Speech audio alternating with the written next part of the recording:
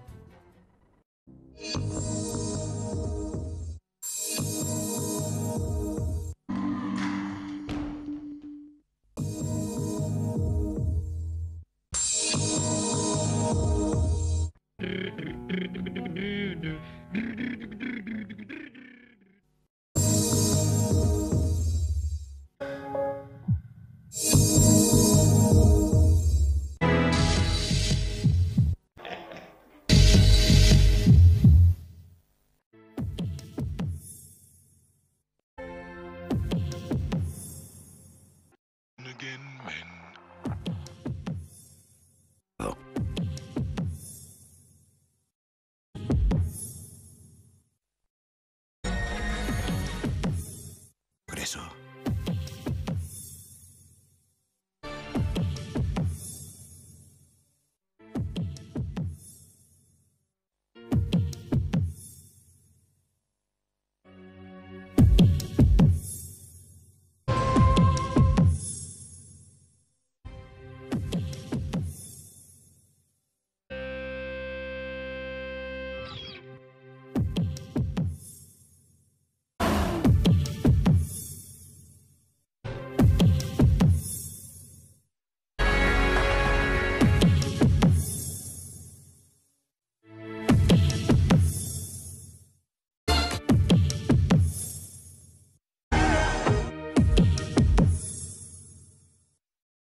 Disfruta las contradicciones.